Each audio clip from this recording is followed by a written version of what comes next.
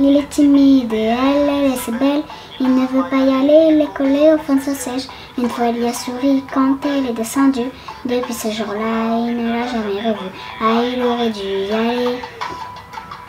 Il aurait dû le faire, crois-moi. C'est assez dommage, assez dommage. C'était peut-être la dernière fois.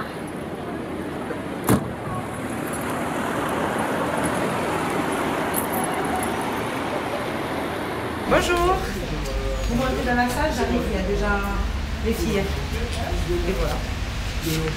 Et bien notre qui arrive. Bonjour Terre, donne, je te prends les, les questionnaires. Merci.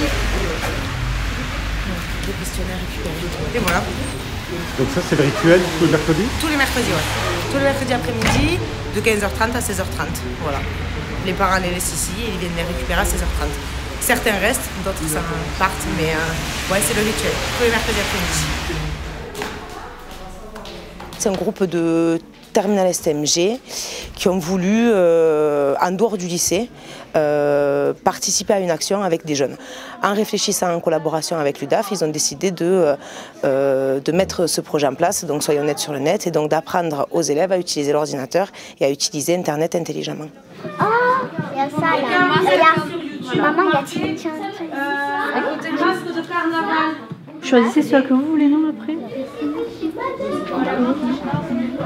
Alors le cours, c'est moi qui l'ai créé avec Marie Cabos, Sophia et Laurie. On a réfléchi toutes les trois à ce qu'on aimerait leur faire faire. Donc comme il y a le carnaval en ce moment à Limoux, on a pensé leur faire fabriquer des masques de carnaval. Et donc pour utiliser Internet, on leur demande d'aller chercher un tuto sur Internet, de regarder le tuto et après ils passent à la fabrication. Tout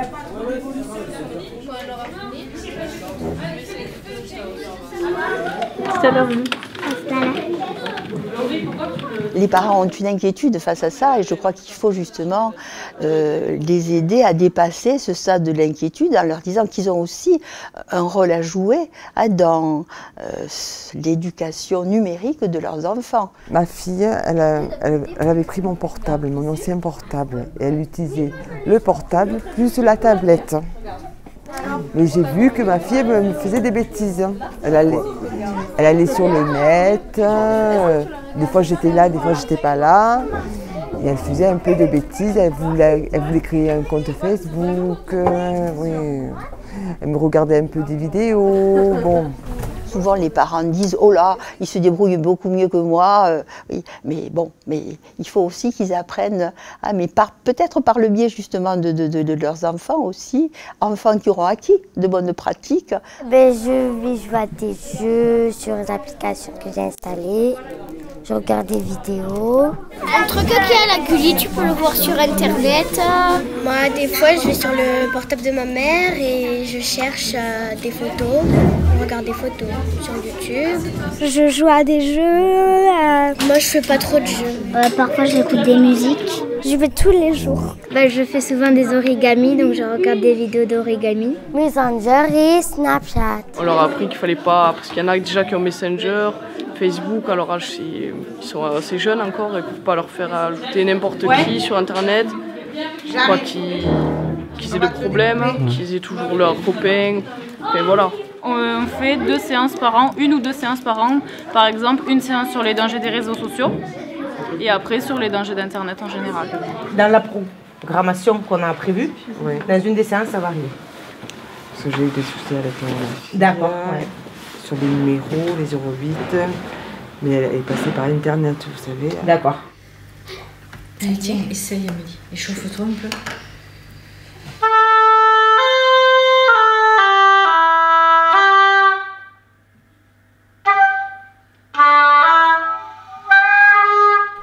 Je contrôle, je fais attention. Je vais dans son historique, enfin je regarde quand même. Oui. Ben, je pense qu'il faut nous aussi déjà mettre des limites, quoi, déjà, les parents, et après, bon. euh, Comment elle a pris, je sais pas, toute seule. Et puis euh, avec, la, avec euh, les lycéens aussi, là, le mercredi après-midi, je pense que ça les débrouille pas mal aussi. Souvent, je vais sur YouTube pour chercher des chansons parce que ça va plus vite. Et du coup, ben, t'as plus de chansons, t'as tout ça. Donc moi j'interviendrai plus sur euh, qu'est-ce que le numérique peut apporter dans la démocratie, et toi, les références historiques Oui, pour pouvoir voilà. de temps en temps faire des rappels. Voilà, ouais. Bah, super. Sur les réseaux sociaux, on voit des filles dire à leur mère Mais ça va pas d'avoir mis cette photo. Et leur expliquer pourquoi il fallait pas mettre cette photo. Ça, on le voit clairement. Vraiment.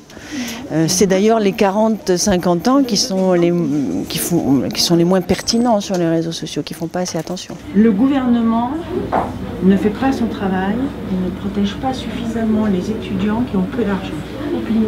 On a, deuxième chose, on a retiré 5 euros à l'allocation pour les étudiants, allocation logement des étudiants. Information. Où est l'information, où est l'opinion Dans la dernière, c'est l'information. Comment tu le sais? On donne pas d'avis. On donne pas d'avis, on donne un fait. C'est objectif. Objectif. Donc nous, nous n'allons pas travailler sur les opinions. On ne travaille sur les informations.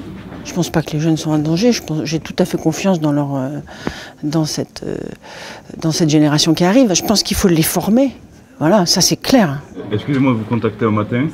Euh, C'était pour savoir euh, d'où viennent les sources sur votre site, s'il vous plaît. Euh, le site est enrichi par, euh, par la communauté de lecteurs, sur Wikipédia.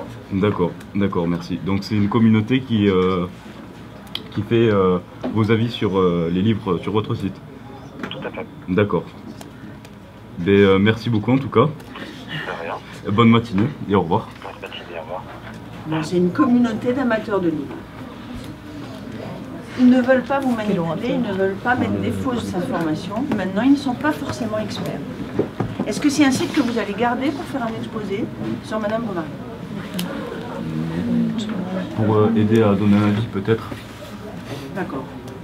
Ils auront une opinion en tant qu'amateurs de livres. Ce ne sont pas des grands experts, ils n'ont pas fait des thèses sur ce sujet, mais les informations qu'ils vont vous donner ont été vérifiées et sont dignes d'être réutilisées. Nous, ce qu'on veut, c'est euh, ne pas euh, diaboliser euh, ces nouvelles technologies et d'avoir un discours qui serait très manichéen en disant que c'est dangereux, que c'est c'est mal, donc avoir un discours un peu anxiogène. Non, ce qu'on veut, c'est développer l'Internet responsable, le numérique responsable.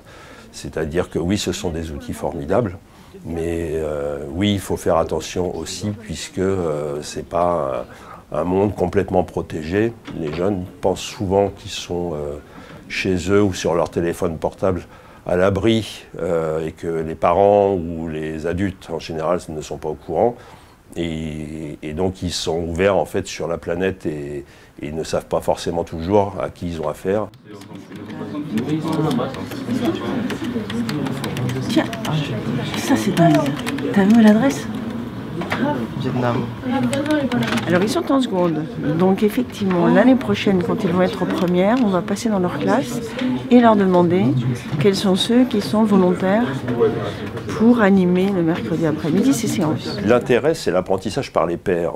C'est-à-dire que nos élèves lycéens prennent en charge les élèves de l'école euh, maternelle ou de l'école élémentaire, et euh, ce sont eux qui animent ces séquences de Soyons nets sur le net. Passer, on s'installe, on fait des Naël. Naël. Je vais vous raconter mon histoire. Je m'appelle Anna. J'habite à Nice dans le sud de la France et ici il fait beau toute l'année. En cherchant du réconfort sur internet, j'ai reçu un message d'un inconnu me soutenant car il avait vécu le même drame que moi. Je passais tout mon temps sur les réseaux sociaux à parler qu'avec lui. Il m'explique comment il avait réussi à remonter la pente à travers sa religion. Si ça a marché pour lui, pourquoi pas pour moi? Est-ce que vous avez entendu le nom du Oui. pays dans lequel cette demoiselle ou cette Oui. dame est allée? Oui. En Nice. mais c'est pas un pays, Nice. Non, c'est pas un pays. Ah, euh, ah, je sais. En Russie. Non. Ah, ah. À la Suisse. Ah, en Italie. En Allemagne. D'accord. Alors, je vous le dis parce que moi j'ai eu du mal à l'entendre. Non, vous, vous allez écouter le nom de ce pays et je pense que ce pays, ça va vous dire quelque chose. En Syrie. Je connais. Ah, je vous- connais. Alors maintenant que vous savez ça, vous pouvez répondre aux questions de Marie.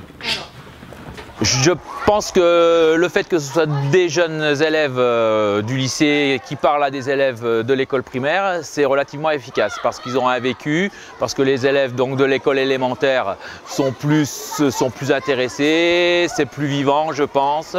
Et puis surtout c'est un, un jeune adulte qui parle à un enfant, c'est pas un adulte qui parle à un enfant. Donc euh, ça a davantage de poids je pense. Ce qui s'est passé, c'est que, donc, vous l'avez très bien décrit, elle était contente, elle a perdu son frère, du coup, elle, est déprimée, elle perd son travail.